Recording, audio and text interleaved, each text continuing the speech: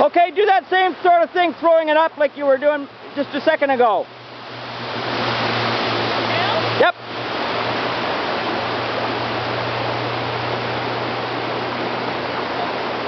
Hmm. One more time.